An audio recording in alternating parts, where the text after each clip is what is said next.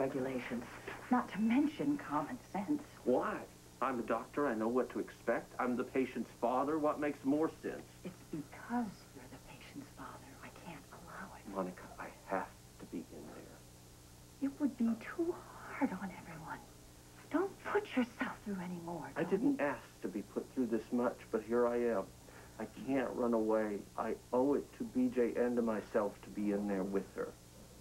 I understand that. And I sympathize with you, but I have a surgical team, I have assistants I have to think about. And how difficult it is going to be for them if you are in that room. They have to focus on Maxie and make sure that BJ's heart is received successfully. Don't, please, don't do anything to jeopardize that. I'll wear a mask. They won't know it's me. Tony, they'll know. Professional. Tell them to concentrate and do their job. They're all so human, and I want them to do the best job they can.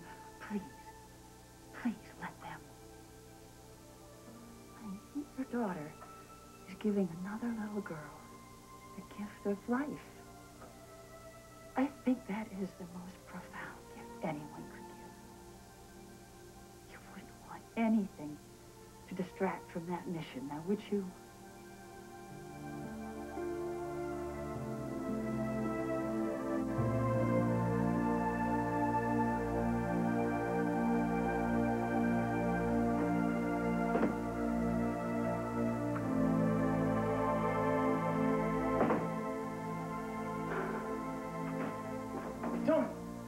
Tony, I've been looking all over for you. I got some news. You're not going to believe this. We got a heart for Maxie. There was a child that was in an accident, and she was just brought into ER, and well, the most amazing part is that they've, they've tested her, and the type matches, the blood matches, the tissue matches. They're bringing her for a transplant right now. We got our miracle. Yes, you did. I know. I can't stop thinking about those parents of the, the child. But well, I'm gonna go back up to ICU. I want to be with Felicia right Go now. wait. It's, uh, What is it? Tony. um... The, uh, the heart for Maxie is BJ's.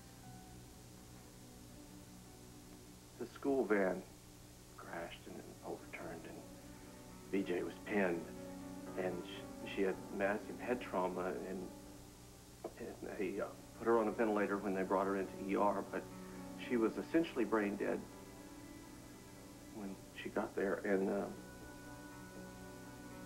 there's not any chance.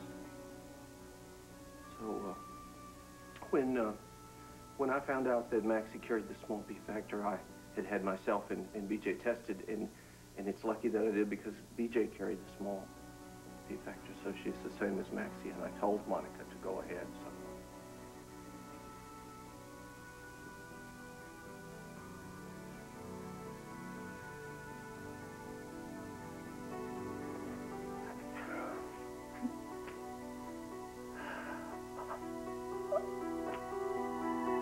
Thank you.